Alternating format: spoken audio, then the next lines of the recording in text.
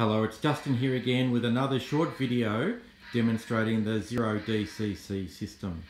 This time we're going to focus on function 98 and that's quick access to the whistle or horn feature uh, or um, turning on the headlights of your locos. Fairly straightforward.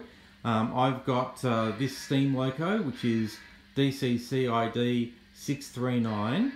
It's programmed in as 01 Loco 1 so uh, if I want to sound its whistle uh, or turn on its headlights, I need to engage function 98. So we go 98 and on, and now we say that it's loco 1 that we're interested in. And when we go forward, we'll hear the whistle. When we go backwards, we'll see the headlight come on. When we're in forward, there we go. So I'll just back off so we can see the keypad. So on and off for the whistle, so we can leave it running. We'll do a short one. And then the left arrow turns the light off and back on again.